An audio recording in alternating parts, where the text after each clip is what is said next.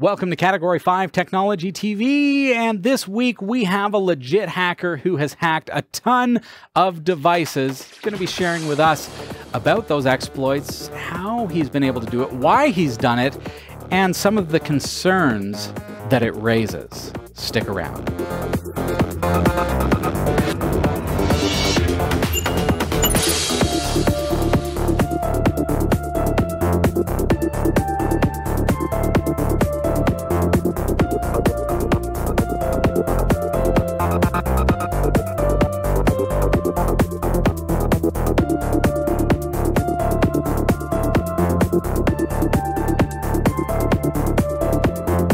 Our live recordings are trusted only to solid state drives by Kingston Technology. Revive your computer with improved performance and reliability over traditional hard drives with Kingston SSDs. Category 5 TV streams live with Telestream Wirecast and Nimble Streamer. Tune in every week on Roku, Kodi, and other HLS video players. For local showtimes, visit category5.tv. Welcome to the show, everybody. This is Category 5 Technology TV, episode number 644, and I'm Robbie Ferguson. And I'm Sasha Rickman. Hey, uh, before we jump into a very exciting show this week, I want to remind you to subscribe to us on YouTube and click that bell. That's going to make sure that you receive all the notifications whenever we are live or when we post new shiny videos. Mm-hmm. It's what the cool people do. So do it. I started seeing the rounds of the exploits of the Canadian hacker. Mm-hmm. As Twitter blew up with people saying, I came into work today and on my printer was this printout. And the printout was from the Canadian hacker. He is the politest hacker that you'll ever meet. He will hack your devices and then apologize. He is none other than the Canadian hacker. Hey there, how's it going? Fantastic. How about yourself? I'm not doing too bad. Yeah. Not too bad at all. Yeah. Listen, you, you call yourself the Canadian hacker. Just to mm-hmm. give us a sense of the scale of things, how many how many devices have you seriously hacked? I mean, I've hacked about 150 devices. How many devices have you hacked? Well, for the printers, I've hacked a hundred thousand of them. A hundred thousand printers. Yeah.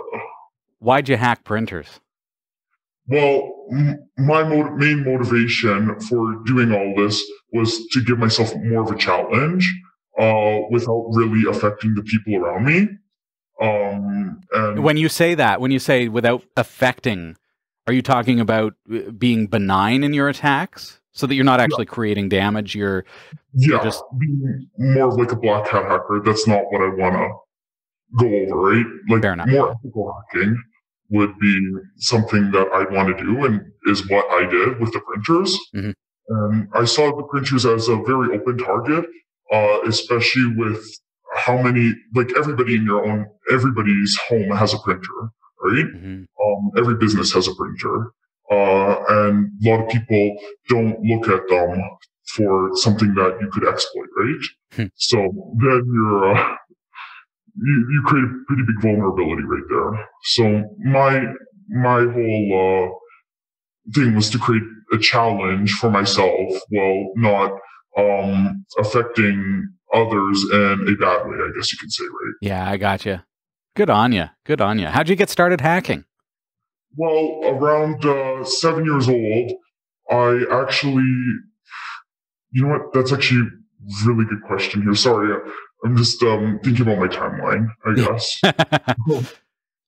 well, yeah, I'd say probably around six or seven. Like, um, I guess um, there's there's a point in in your like you're growing up in an era, unlike I did, so yeah. when I was when I was in high school is when I realized, hey, I can hack systems and I can mm-hmm. make them do what I want them to do.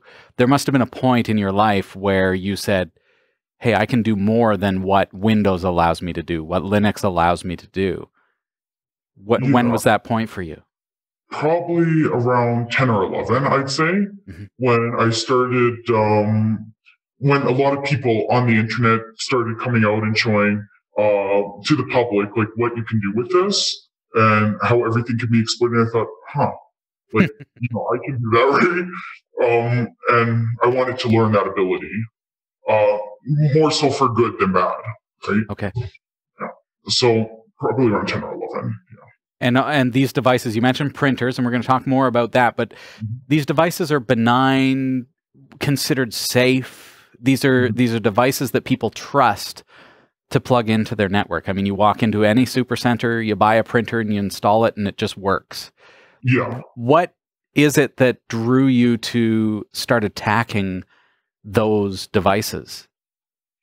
Well, I would say it's more of a um or giving me a little bit easier of an access or, than a more sophisticated system. So it was easy enough for me to do, but um, hard enough for to still have a challenge. Yeah. And there was a large amount of them, like a surplus of, of uh, printers on uh, any given network.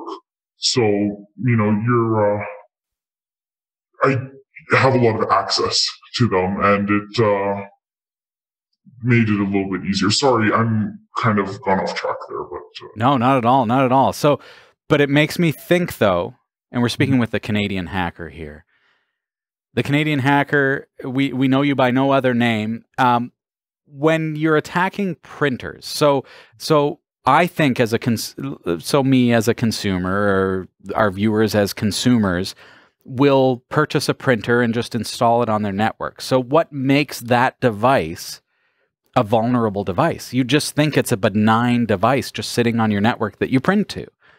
Well, it's like, go ahead how are we able to attack that? How what is what is it that i should know as a consumer that you can share with me as a as a hacker that i should know about that printer being connected to my network? Well all devices have a form of like security theater i guess you could say. Um, you might think that they're safe when they're really truly not. And for printers in this case um, there's a lot of open ports on your network that uh, it can be accessed with, which I don't mean that you don't, you shouldn't connect it to your network. I mean, it makes it so much easier to print anything off, but you just have to be really careful with what's exposed because um, there's uh, ports 9100, 515, and 631, which are the main three ports that, um, and it's mainly 9100. That 631, isn't that CUPS? Yeah, that's yeah. CUPS. So you got to be really, really careful with um, what you're exposing. Um, and you just always got to be watching out with what you're installing to your network, what you're adding to your network. Cause I could, I could get into that printer and, um, if I wanted to attack it for malicious reasons, uh, let's say you're a large business, I could, anything you print off, finance reports or anything, I would actually be able to uh, use a man in the middle attack and take it off. So, oh or, man, so you really have to be careful with what you're putting or connecting to your network, and you should always be checking um, your settings on your uh, modem or I mean, more people know it as a router, but it's really a modem, right? Um, uh, to see what ports you're allowing to pass through to the external side of your network. And that makes me think now the Canadian hacker, you're, you're dropping a bunch of bombs here. So I got to cut you off because like, okay, we got to talk about this. UPnP is enabled on a lot of routers. Yeah. U, UPnP means as soon as you plug that printer in, it opens up the ports. It doesn't matter if you specifically said open up those ports. No, UPnP will automatically do that because it detects the new printer and allows it to open those ports automatically. That's yeah. dangerous. That's what I'm learning here. But you're talking about okay, not only are you able to send print jobs to my printer, but you're able to intercept the print jobs that I send to my printer. Exactly, yeah. And you can see how dangerous that is, right? Oh, yeah. Um, oh, yeah. And a lot of the security features on printers that say like, oh yeah, um, they won't be saved on the system or anything like that, um, really don't help at all because it's not, it's again, a form of security theater.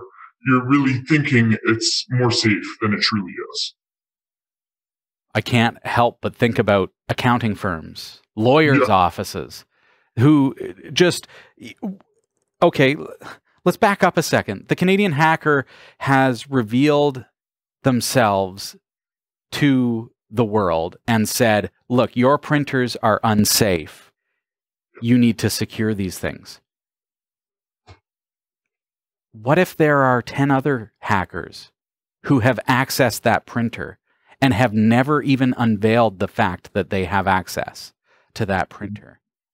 Is there isn't it true, the Canadian hacker, that they could compromise this printer and be receiving every single print job from this lawyer's office, from this accounting office, from wherever this office is, and never, you'd never be the wiser. You'd just be sending them this information. Is that a valid point? It's a very valid point, and that is very true. Um, of course, I've never necessarily seen that in action, but it is definitely in the realm of possibilities. Um, yeah, if you have anything that's open to the network, open to your network, um, there's IP crawlers that can uh, go through every single IP address in the world and will tell you exactly what ports there are. And then, um, for example, sites like Shodan uh, or uh, host those, like they show them online. And then anybody with the malicious intent, like the people you said, or that you stated uh, can use that to um, or uh, create man-in-the-middle attacks or copy off any files, permanently damage your printer, or just do mostly anything to your printer. Unreal. Uh, speak now. Getting away from printers, are there other devices that we as consumers may pick up, whether they be from a retailer or from, say, our internet service provider, that would allow us to be compromised without us even thinking about the security aspect of it? Oh, there are tons. Um, a really big example that I personally found in I was that I actually experienced myself in my own home mm-hmm. was um, a certain ISP company that I'm not going to state, uh, but I would say a major ISP in Canada uh, what did install a modem in my own home that replaced my past modem, uh, and it actually opened up the web interface to the public. And uh, these, and it had a standard like username and password, like no, password, right? Like a so, default like admin password. yeah. Oh my exactly. goodness. So and so many people don't understand that this is such a huge issue. Yeah. Um, and they like I haven't contacted them about it. Um, I probably should, and I most likely will in the future.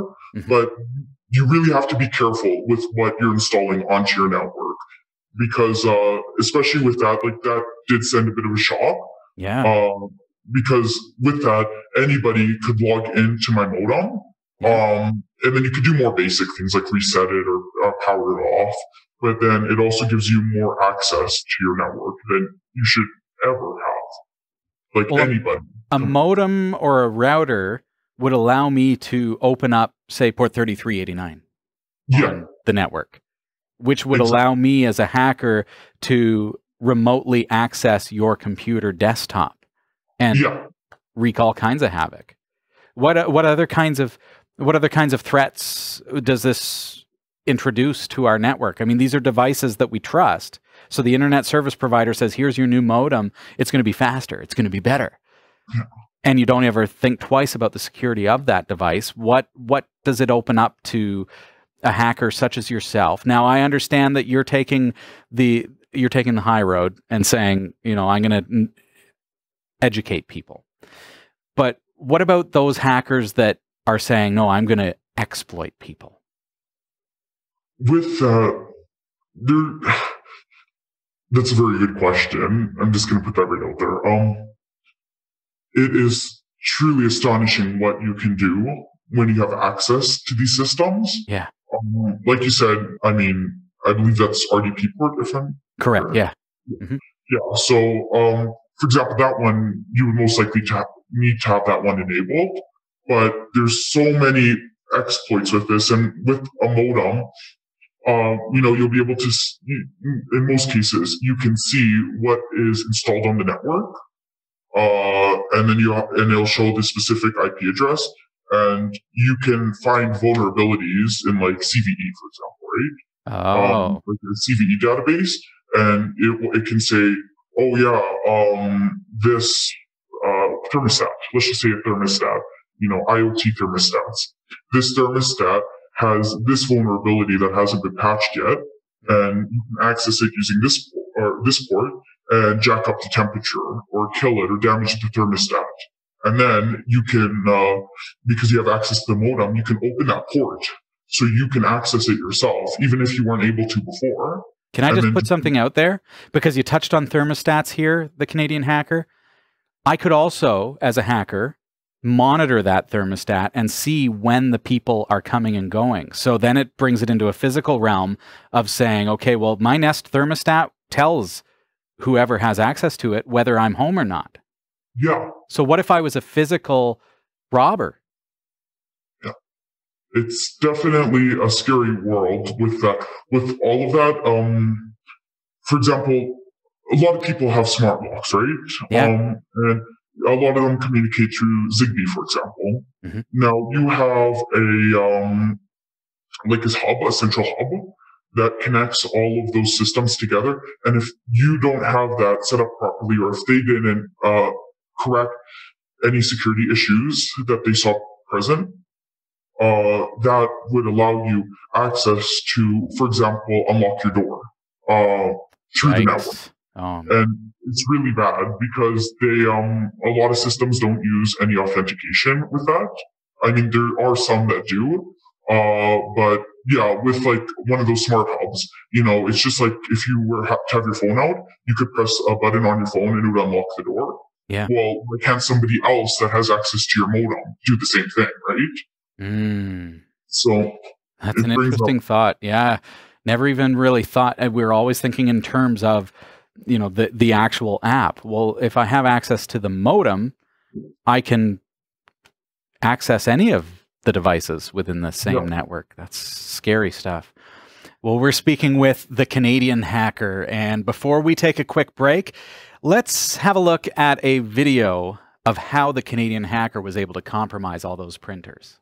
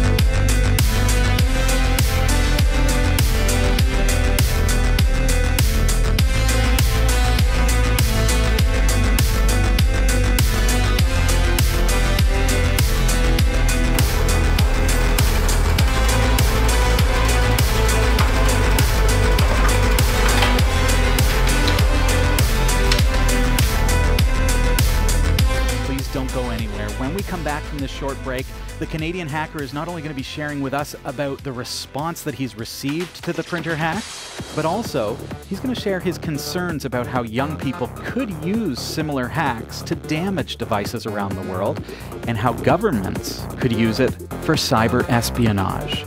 Don't go anywhere.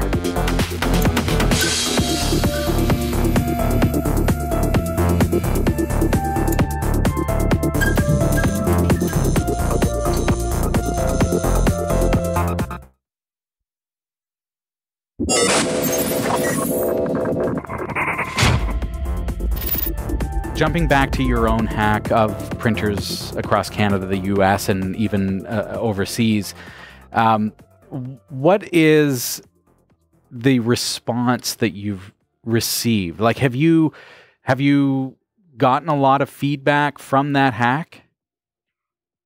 Yes, I have. So with the attack or the hack, um, I added my uh, Twitter handle. Yeah, I saw that.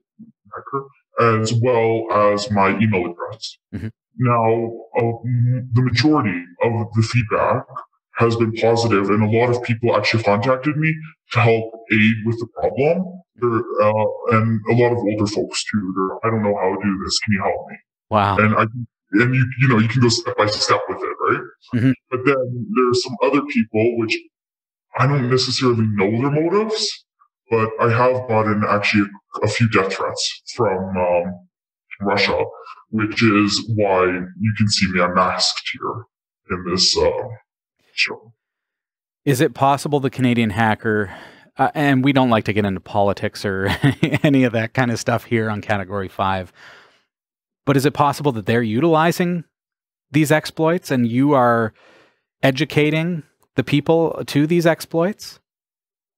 You know what? I've actually never thought of that. And that is a very good view, I guess you could say. So, um, you think um, that is yeah. a possibility? That is very much so a possibility, yes. And I could be showing, by doing this, I could be showing the public uh, things that maybe those people who sent those threats oh, sure. uh, didn't want to see.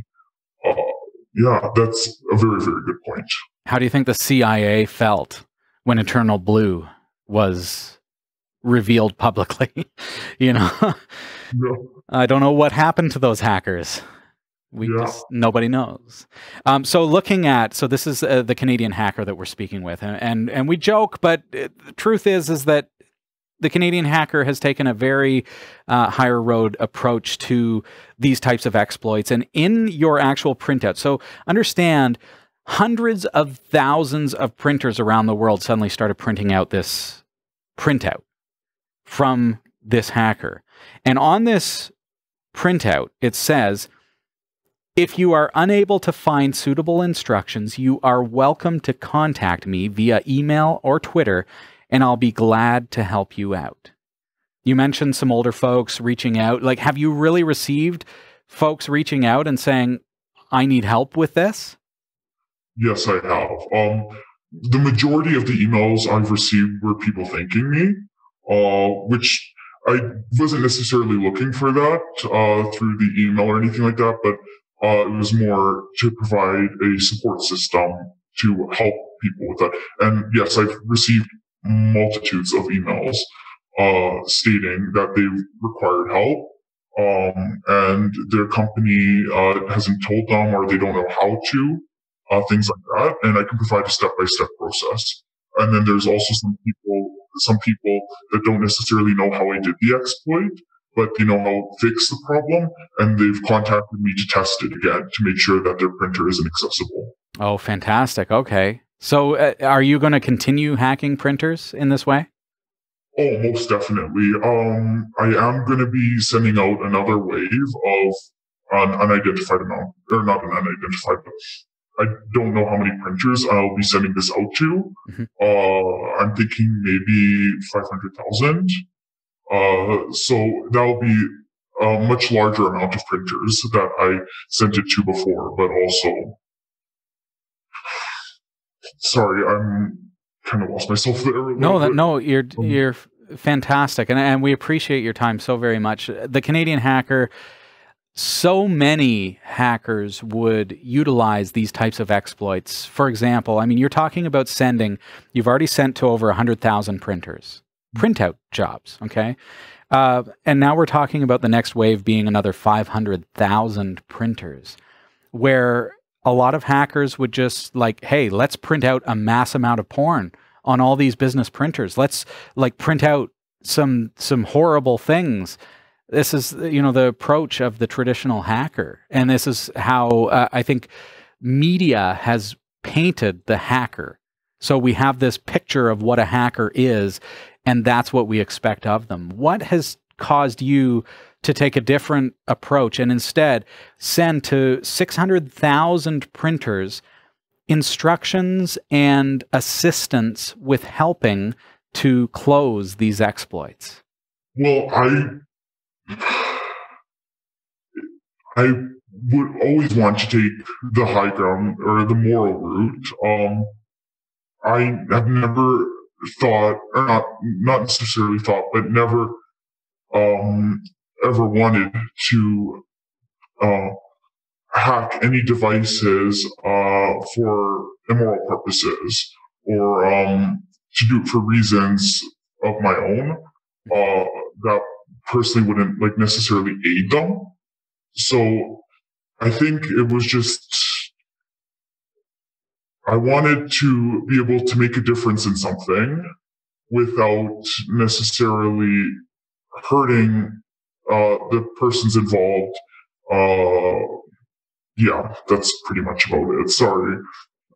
Like, you, you, you live up to the the the handle of the Canadian hacker by apologizing, but what what you're revealing to us, I I just envision like a new world of philanthropy in a way.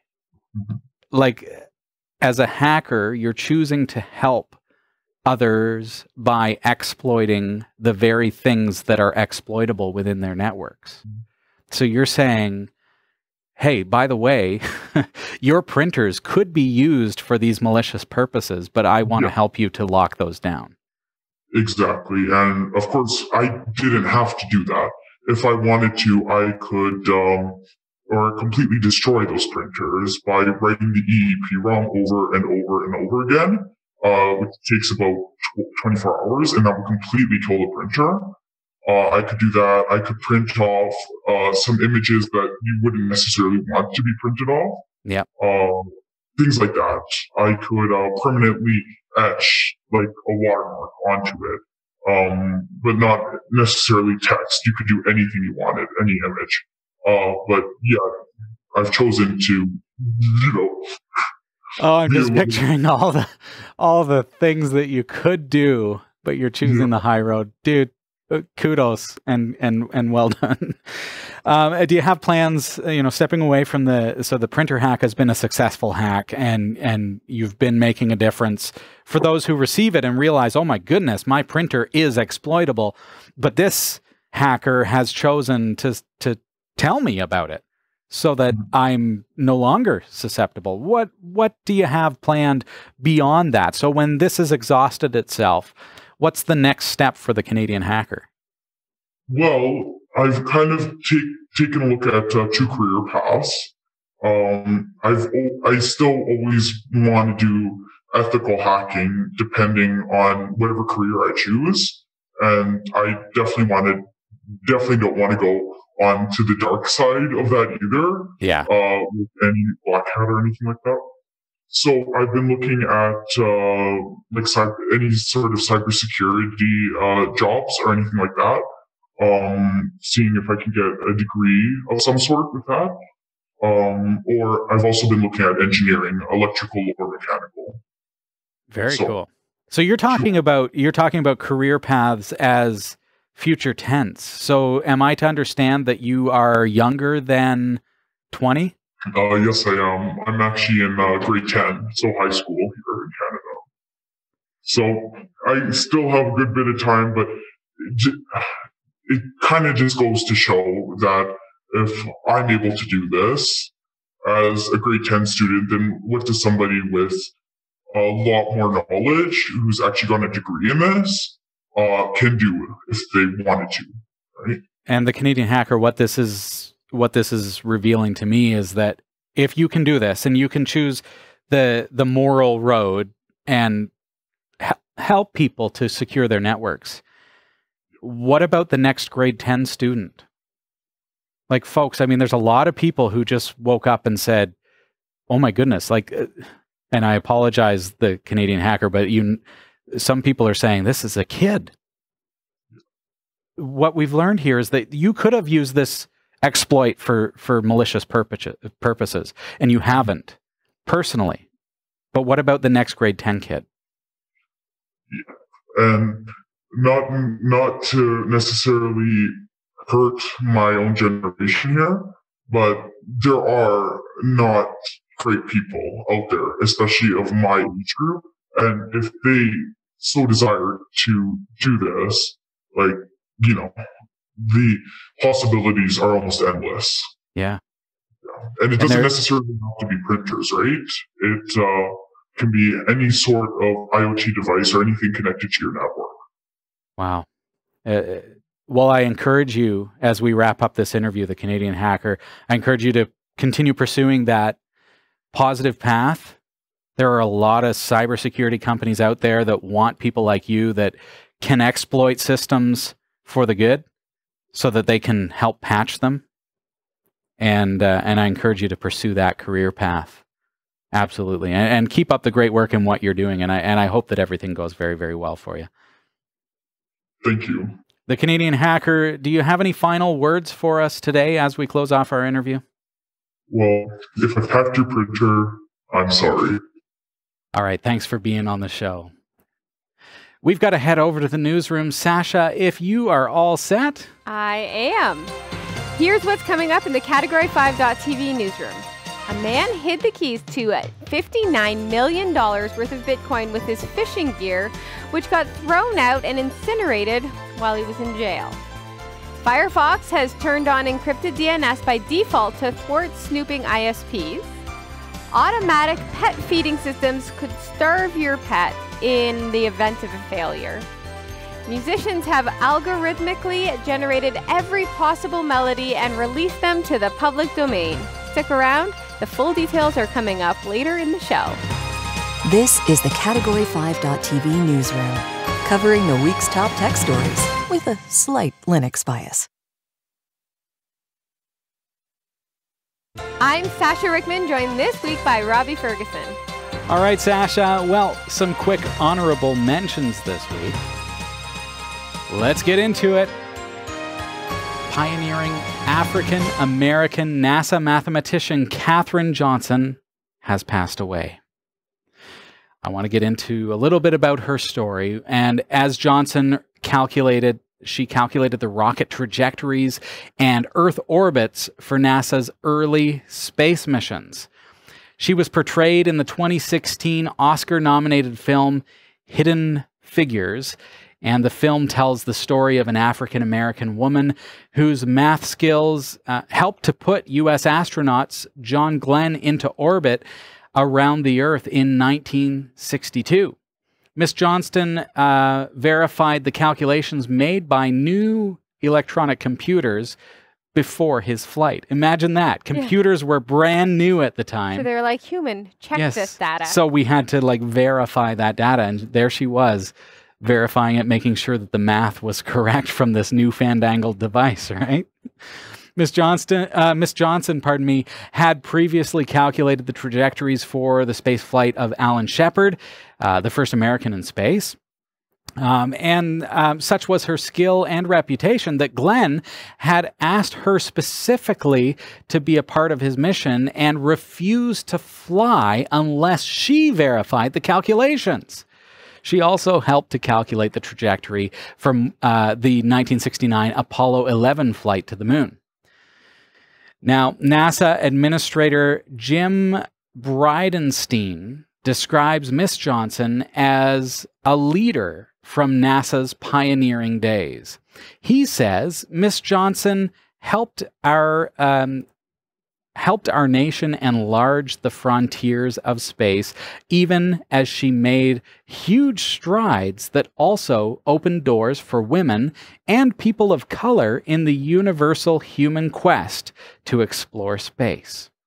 Her dedication and skill as a mathematician helped put humans on the moon, and before that, made it possible for our astronauts to take the first steps in space that we are now following on a journey to Mars. Here in 2020. Miss Johnson was born in a small town in West Virginia in 1918. She excelled academically. She graduated from high school at just 14 years old and from university at 18. NASA notes that her academic achievements were partially uh, were particularly, pardon me, impressive. Quote, in an era when school for African Americans normally stopped at eighth grade for those who could indulge that luxury. To think of education as a luxury at that time. Just an astonishing woman. After working as a teacher and being a stay at home mom, Miss Johnson began working for NASA's predecessor, the National Advisory Committee for a- uh, Aeronautics. Pardon me. Uh, they called it NACA at the time. In uh, she started working there in 1953. Johnson died at a retirement home in Newport, February 24th, at the age of 101 lived a long life.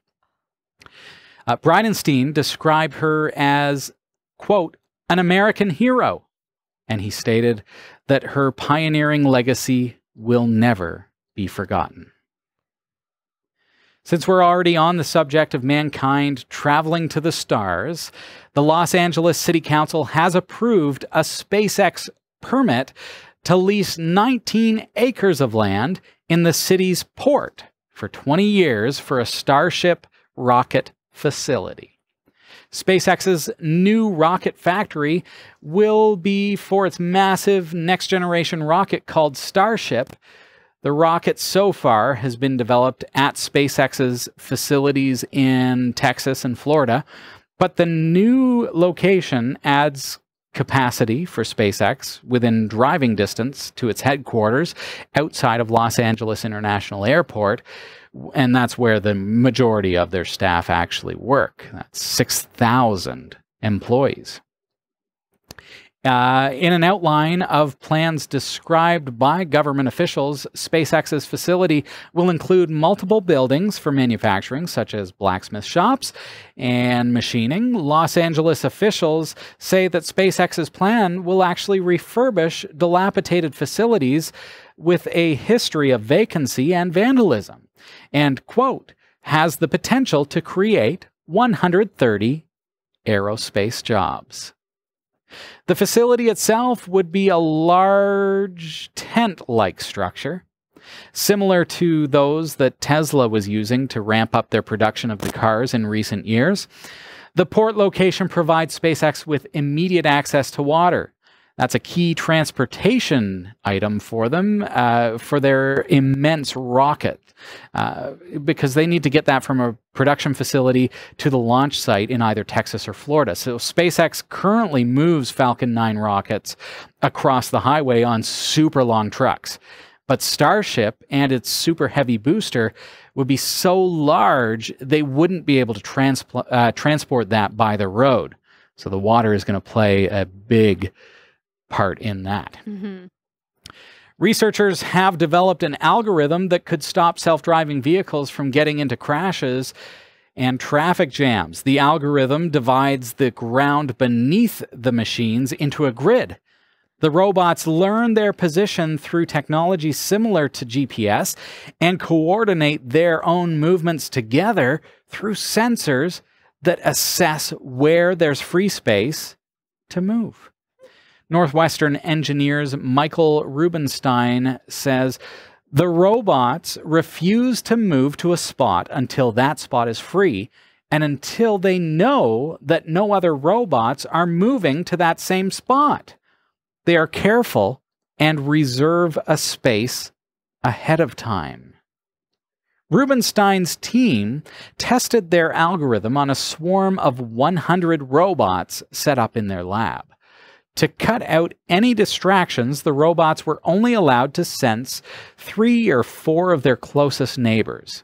This restricted their vision, uh, it, and it made the system easier to scale, as the robots can interact locally without needing global information. Think about the impact of that. So, the advantage of a swarm of robots is that there is no centralized controller that can disrupt the whole system. This allows them to work together to accomplish any task, even if one of them breaks down. This gives the system an obvious application in warehouse robots, but Rubenstein believes uh, it could actually also cut traffic and collisions for self driving vehicles on the road. He said, quote, by understanding how to control our swarm robots to form shapes, we can understand how to control fleets of autonomous vehicles as they interact with each other. Finally, cybersecurity researchers today uncovered a, a new, highly severe hardware vulnerability residing in the widely used Wi Fi chips manufactured by Broadcom and Cypress. Apparently, they power over a billion devices, including smartphones, tablets, laptops, routers, and IoT gadgets. Dubbed Crook, KR00K, the flaw could let nearby remote attackers intercept and decrypt some wireless network packets transmitted over the air by a vulnerable device. The attacker doesn't need to be connected to the victim's wireless network, and the flaw works against vulnerable devices using WPA2 personal or WPA2 uh, enterprise protocols with AES CCMP encryption. ESET researchers said, quote, our tests confirmed some client devices by Amazon, Echo, Kindle, Apple, the iPhone, iPad, MacBook, Google's Nexus device, Samsung's Galaxy devices, Raspberry Pi's Pi 3, and Xiaomi's Redmi, as well as some access points by Asus and Huawei, were vulnerable to Kr00k. Now, the attack relies on the fact that when a device suddenly gets disconnected from the wireless network, the Wi Fi chip clears the session key in the memory and it sets it to zero, but see, the chip inadvertently transmits all data frames left in the buffer with an all, uh, with an all zero encryption key even after the disassociation. So it's actually pushing out that data without encryption. So, therefore, of course, an attacker in a near proximity to vulnerable devices can use the flaw to repeat uh, repeatedly trigger disassociation by sending de authentication packets over the air to capture more data frames, quote, potentially containing sensitive data, including DNS, ARP, ICMP, HTTP, TCP, and TLS packets. Basically, it's like a man in the middle without actually having to be in the middle. Besides this, since the flaw also affects chips embedded into wireless routers, the issue also makes it possible for attackers to intercept and decrypt network traffic transmitted from connected devices that are not vulnerable to Kr00k either attached or using different Wi Fi chips. So consider that if you are connecting to a Wi Fi hotspot whose hotspot is vulnerable, you are susceptible to Kr00k. Apple has already released patches for its users. Some should have issued advisories or security patches at the time of the publication and other vendors are still testing the issue against their devices. Watch for patch uh, for patches to mitigate this problem via software or firmware updates for your device. Wow, thank you. Let's get into the top stories we're following this week. In a world where various mass breaches dictate the use of strong, randomized passwords more than ever, reliable and secure credentials management is paramount in 2020. One Irish drug dealer has evidently learned the lesson the hard way. This week, the Irish Times reported the sad tale of Clifton Collins, a 49 year old cannabis grower from Dublin. Collins quietly grew and sold his product for 12 years, and he amassed a small fortune by using some of that revenue to buy bitcoins around 2011 and 2012 before the price of cryptocurrency soared. But in 2017, state authorities on a routine overnight patrol spotted and then arrested Collins with roughly $2,000 of cannabis in his car. The man quickly earned himself a five year jail sentence. As part of authorities' investigation, Ireland's Criminal Assets Bureau discovered and confiscated 12 Bitcoin wallets belonging to Collins, totaling nearly $59 million, reportedly the biggest financial case in CAB's 25 year history. There was only one problem CAB couldn't access the accounts because Collins had lost the keys.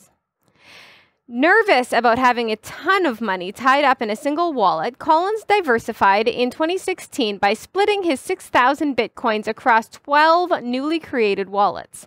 And to further secure this fortune, Collins hid a piece of paper containing the access codes inside a fishing rod case at his home. Unfortunately, a separate criminal broke into Collins' home in 2017 and cleared his belongings. And upon Collins' arrest, his former home was cleared out by his landlord with left behind belongings taken to a dump. Dump workers told state police they remember seeing fishing gear, but waste from this particular dump is sent to Germany and China and incinerated by procedure. The fishing rod case has been missing ever since. Collins told the Irish police that he has had time to come to terms with the loss of the money and regarded it as punishment for his own stupidity.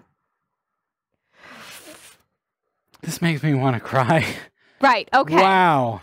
So that money would not have been his in the end which is why he's kind of okay with losing it. Oh my goodness! like he's dude, not upset about it. Ah. Oh, because he's been caught. Yeah. Back up. Where are your backups? Right. I I understand the idea. In the lure box, the tackle box is yeah. that what they call it? Tackle box with backups. Fishing rod for the main. Believe me, I understand the idea, the concept behind a paper wallet. Yeah. But paper wallet as a term doesn't necessarily mean that you have to print it on a piece of paper, which is susceptible to everything.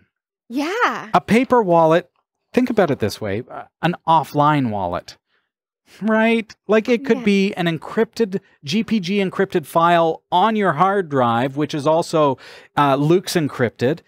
And right. that can be your protection. And, and then back it up. I, you know what? Six. I am slightly suspicious, actually, of this story, Mr. Collins. Why? When you're released from jail, if all of a sudden you disappear, maybe you had. Uh, excuse me, I'm going fishing. Yeah. Maybe you had your keys elsewhere. Oh boy. Maybe. Okay, so where do you keep your crypto keys? So think about so your wallets and your keys. Your wallet is reasonably easy to recover as long as you know your wallet address. Mm-hmm. It's that private key that you're not going to be able to recover if you don't have it. So, encryption, I mean, use, uh, like, can I skip off? Can I skip yeah. off the set yeah, for a second absolutely. here, Sasha? I'm jumping over here, and I know you guys can't see me, but I just want to grab a device. Right. From Kingston Tech. Okay? So Kingston has these guys. Would not stand up against an incinerator, though. Wouldn't stand up against an incinerator, incinerator but perfect. A DataTraveler 2000 has an encryption keypad. So save your GPG encrypted keys yes. on this, encrypted with the keypad, and then back it up to multiple devices. Yes. Like, like come on when you've got millions and millions of dollars in Bitcoin, you can afford to buy a DataTraveler 2000. Don't be dumb. Daft, as they would say. This is yeah. Irish. Don't be right. daft, Mr. Collins. Don't be a prat. Oh, good. Come on now. But, you, like, yeah. Right? That just breaks my heart in so many ways but it's just like okay this guy obviously knew his way around the cryptocurrency. I mean he but mm. maybe he was just lucky. Maybe he just he bought it at the right time and stumbled didn't know upon any it. better. yeah heard some some chattering at the local pub. Evidently i'm painting a picture of who this guy is. He's sitting there sipping a pint of guinness listening to some so i bought a thousand bitcoin last week Ah, oh, that'll never be worth anything, they said. he wrote it down on a napkin. They were like tw- they're only like, 20 cents each, they said. Any like Oh my poster. goodness. Not to be a Guinness. I'm going fishing, boys. Yeah. so the question becomes okay, so think about it. Where are your keys? Okay, so if you yes. collect cryptocurrency, where are your keys? How are they safe? Do you have a device like a DataTraveler 2000 from Kingston? Um, I have one. And if not, get one, okay? Because mm-hmm. this is a great device to store your keys on. But I wouldn't just I wouldn't just put my files on here, I would also encrypt those files with GPG, right? So you've got multiple layers of encryption. Mm-hmm. And heck, if you want to LUKS encrypt this as well, triple layer encryption, that's fine. And then you can back that up to multiple devices, create a DD image. I don't care what you do, but you need to have a backup of your keys. Yes. And an offline key does not necessarily mean that there's only one copy. No, you can still have backups. But I think that is safer than the paper key because the paper key can be picked up by anyone. So that robber, if he recognized it and he also had the wallets, I'm saying he, I'm just assuming it was probably a woman. But if the robber was to get a hold of the keys, the private keys on paper, as well as the wallets, well, they've got all your $69 billion, whatever it is. A lot of money. A lot of money right? Right. So at least with encryption, you can have multiple copies of your file backed yeah. up that has your keys, but don't just print what them. What a tale this will be for him when he gets out after. I, I don't know if his sentence is up yet, but when he gets out and he's just talking to somebody who's never met him before and he tells them the tale about how he lost so much money, they'll think that he is lying. Yeah. All right. Firefox has begun the process of switching browser users to Cloudflare's encrypted DNS service this week. The change rolls out across the United States in the coming weeks. DNS over HTTPS helps keep eavesdroppers from seeing what DNS lookups your browser is making, potentially making it more difficult for internet service providers or other third parties to monitor what websites you visit. Mozilla's embrace of DNS over HTTPS is fueled in part by concerns about ISPs monitoring customers' web usage. Mobile broadband providers were caught selling their customers' real time location data to third parties, and internet providers can use browsing history to deliver targeted ads. Wireless and wired internet providers are suing the state of Maine to stop a web browsing privacy law that would require ISPs to get customers opt in consent before using or sharing browsing history and other sensitive data. The telecom companies already convinced Congress to eliminate a similar federal law in 2017. With web users already being tracked heavily by companies like Google and Facebook, Mozilla had said it is embracing DNS over HTTPS because, quote, we don't want to see that business model duplicated in the middle of a network, and it's just a mistake to use DNS for those purposes, end quote. Mozilla said in an announcement Tuesday, quote, Today we know that unencrypted DNS is not only vulnerable to spying, but is being exploited.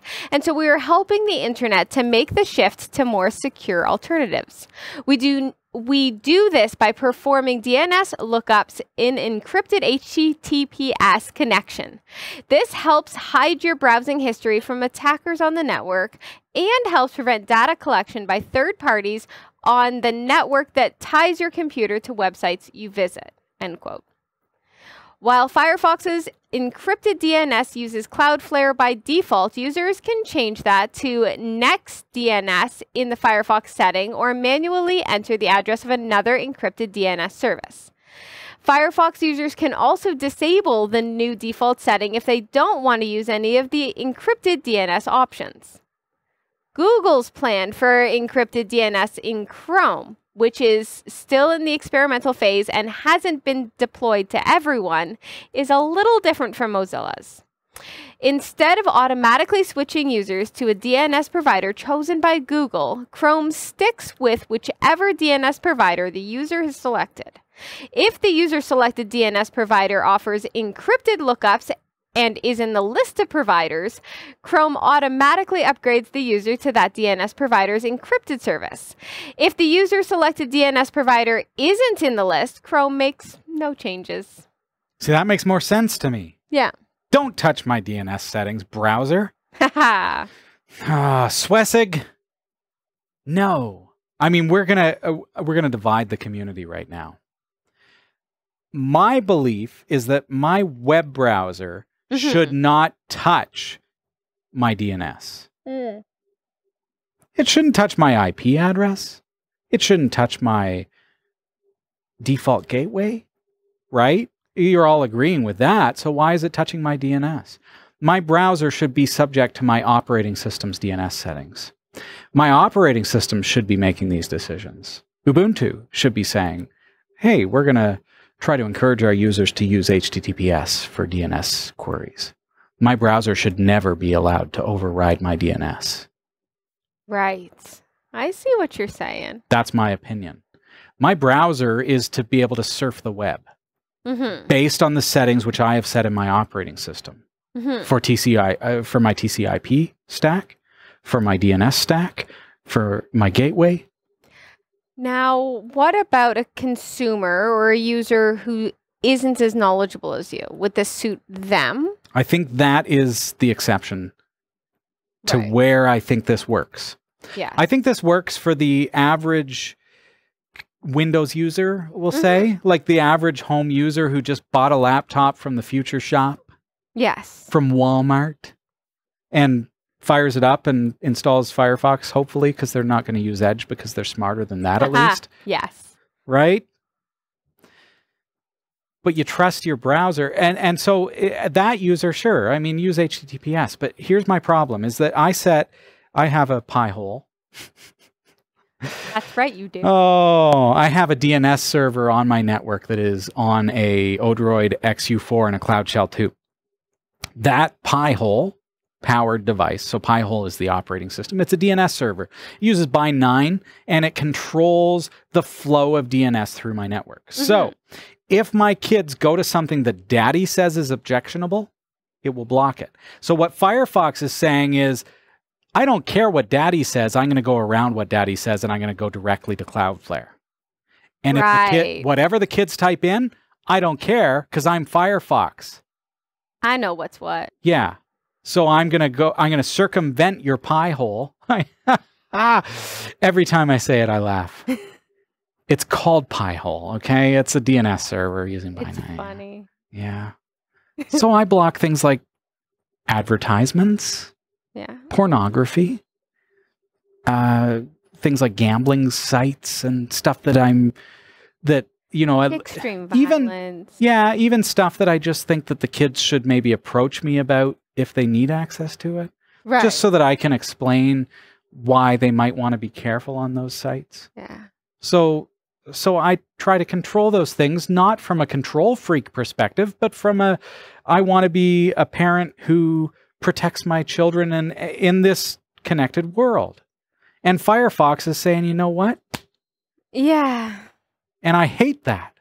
So if my kids are using Firefox, they are circumventing the settings that daddy set up to protect my kids. That I don't like. So I, hmm. but I do understand for the average person who goes into Walmart and buys a laptop yes. and installs Firefox, this is safer. Right. Because nobody needs to know what URLs you are going to.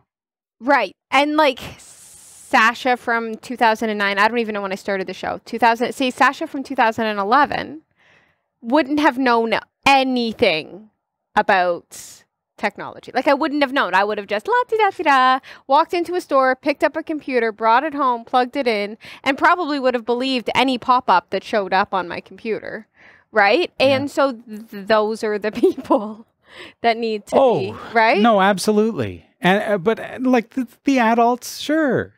But yeah. for for I mean there are so many great uses for being able and I understand that the the approach or the promotional end of it so mm-hmm. the we'll say the marketing perspective that Firefox is using is that this protects you because now your internet service provider can't see what domain you go to. So if mm-hmm. you punch in a pornographic website into your URL bar, your ISP knows that. Right. But so does daddy. And so daddy can say, I don't want my kids to see that. Yes. I want to protect them from that. Mm-hmm. So please, Firefox, don't turn that off. Yes. I have to be able to see those domains. Mm-hmm. So that's why I have a problem with it. I agree that HTTPS is important, but there are times when maybe Google's approach is better. Right. Because Google is saying if you already have something set in Chrome, in your browser, in your operating system, we will honor that, but we'll try to switch to HTTPS. So Google is saying if you have a Pi hole, I'll still go through your Pi hole, but then Daddy can set the Pi hole's DNS server to an HTTPS server so the ISP cannot see what yeah. my family is putting in. So daddy can still see it because the browser no longer has the power to override. Mm-hmm. But the ISP cannot because my Pi hole, which is the override of my systems, see that is good. is able to direct. Okay, Google so I can make that decision because I'm smart enough. Yeah, you're smart enough to make that decision. So there should be a process that Firefox has, for some reason, forgotten to put into place. There should be a mm-hmm. process of qualifying is this user capable of making these decisions for themselves? Yes. Or do we actually need to override for them? Right. Okay. That's my perspective. Please comment below. I know we're probably going to have some mixed perspectives here on this topic. Mm-hmm. But my perspective is from the father who just wants to protect his kids. I like it. Thank you. Comment below.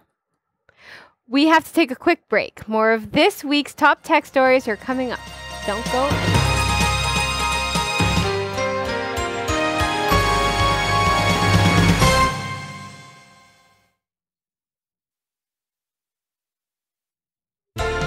Welcome back. Owners of a device designed to release food for pets say their animals were left hungry during a week-long failure. In this instance, the device was one from PetNet. However, such devices are being trusted by pet owners. PetNet allows owners to schedule and control feeding via a smartphone app. One pet owner tweeted, My cat starved for over a week, while others complained about other hardware issues. Quote, My three Gen 2 feeders constantly jam and won't dispense food, wrote another. Some expressed relief that the feeders were now back online. PetNet has two Twitter accounts. The official one has not tweeted since August 2019, but the, the support account issued four tweets between last week and now about the problems experienced. In its first tweet, it said a system outage was affecting second generation devices and asked customers not to switch off their feeder even if it appeared to be offline. It said automatic feeds would, quote, still dispense. Four days later, it tweeted again to say that it hoped to release more information soon. On Friday, it said its smart feeders were, quote, returning online, and a system reset was in progress. Stuart Miles, founder of the tech site Pocketlint, says, quote, as we go towards a more automated home, you have to acknowledge that somewhere along the line, things will fall over. Robots and automated systems have hiccups along the way. It's something we need to get used to. End quote. This particular outage, though, points to a need for pet owners to have a backup plan. A friend or family member to check in on the pets every couple of days may be all it takes to ensure that if tech fails, a human is there to ensure things are safe and cared for. Yeah, makes sense. It re- it really reminds me of the Tesla automated autonomous vehicles. Yes. And how there have been some crashes and it's while they're watching a movie or right. talking on the phone or like this is what okay, so this is why I don't think robots are going to take over the world and all the humans well, are going to totally are. No, well, they need us. robots need people as yeah. much as people need robots. We got to keep them in check. You can have an automated cat feeder. Like I think of people I know in my daily life that really could use an automated cat feeder to help assist them mm-hmm. in feeding their cat.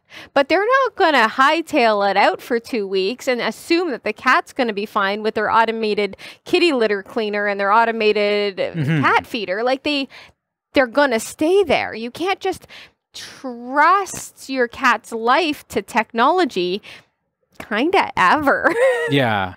I, I like I trust technology. Yes. But when it comes to life and death, health, wellness, yeah. I think it's important for us to still be the human, right? Yeah. Like autonomous vehicles still have a steering wheel for a reason. Yes. You're meant to observe what's going on around you. Yes. But sit there and relax enjoy the music and just kind of look around and enjoy nature for once. Be a passenger. But as soon as you start swerving toward the guardrail, be like, grab a hold of the damn steering wheel and take control. Right.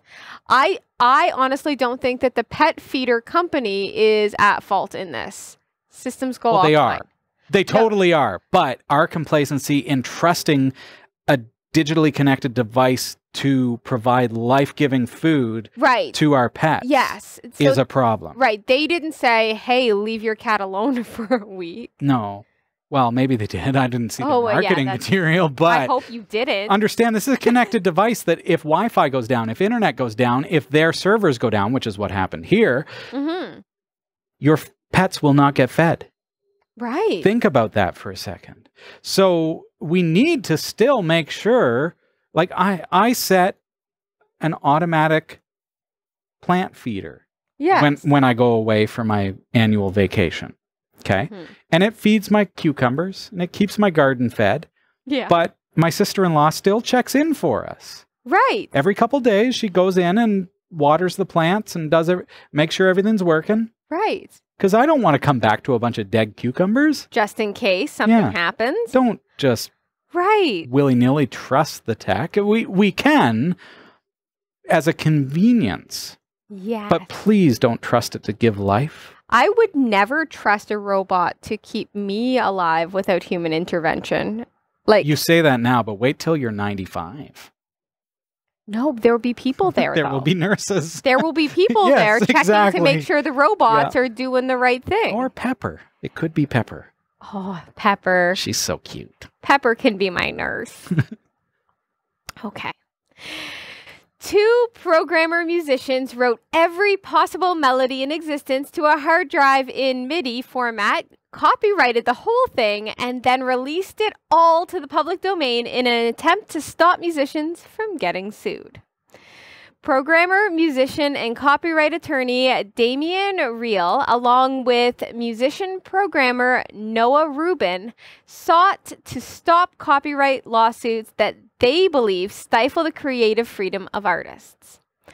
Often in copyright cases for song melodies, if the artist being sued for infringement could have possibly had access to the music they're accused of copying, even if it was something they listened to just once, they can be accused of subconsciously infringing on the original content.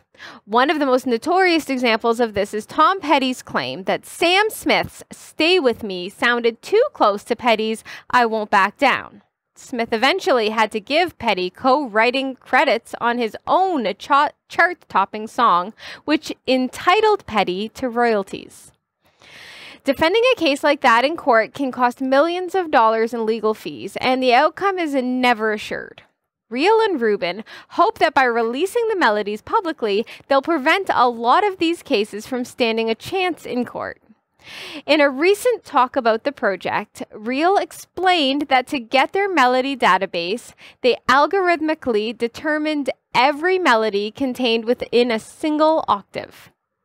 To determine the finite nature of melodies, Riehl and Rubin developed an algorithm that recorded every possible 8 note, 12 beat melody combo. This used the same basic tactic that hackers use to guess passwords churning through every possible combination of notes until none remained. Riehl says this algorithm works at a rate of 300,000 melodies per second. Oh. I know. Once a work is committed to a tangible format, it's considered copyrighted, and in MIDI format, notes are just numbers.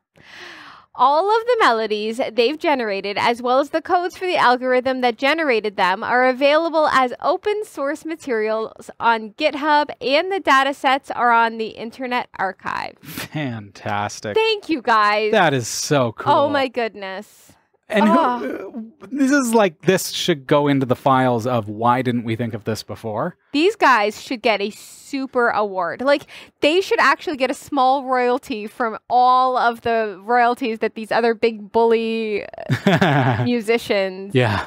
So now I want to download the entire MIDI set. At, like attribute Edirol orchestral to all the MIDI mm-hmm. notes and mm-hmm. resequence everything, add some drum loops, and let's see what we come up with. I think this is great. I think it's it's obviously novel, but it's also a brilliant way to thwart. Like this is the equivalent. Uh, copyright trolls are, are, the equivalent of patent trolls in, in mm-hmm. many many ways. So, oh yeah, that sounds. I mean, there's only so many chords we can use in in our right. You know, four fourths and three fourths time. Yeah. And and they do start like I mean Barenaked Ladies, you know, GDC, GDC, GDC, E minor. Like how many songs are yeah. going to fall into that? And and you can creatively have a thought that is similar to somebody else's very creative unique thought. Sure. But y- you didn't hear it even. Like it, it you can people have said things that I've said, I'm sure um, without hearing me say them. They're not stealing my thoughts. I I just feel like in this particular case, especially the example, Tom Petty was being very petty. ah, yeah, nice yeah, one. See? I think that um, since the only person who is able to create unique melodies is Sia these days, um, it, it, just comes down to like seriously, there's only so many melodies that can be made. And we're coming up on a time where in recorded history, there have been so many recordings made that we're going to start to see overlap. Mm. And we have seen that. This is a cool way for them to say, haha, exactly. we, yes. we own them all. We've released them to the public domain. Well done. Thank you so much. Links below. Yes. Go download the MIDI files, sequence them, use them, yeah. create your tracks. Be creative. yeah. Big thanks to Roy W. Nash and our community of viewers for submitting stories to us this week. Thanks for watching the Category 5.tv newsroom. Don't forget to like and subscribe for all your tech news with a slight Linux bias. And if you appreciate what we do, become a patron at patreon.com slash newsroom. From the Category 5.tv newsroom, I'm Sasha Rickman. And I'm Robbie Ferguson. Well, thanks for being with us this week. It's been great having the Canadian hacker on the show to share with us. And uh, I hope that you've enjoyed the show. Please comment below. Give us a like, a big subscribe, and thumbs up. And uh, we look forward to having you as a part of our community. We'll see you again next week, everyone. Take care. Bye bye.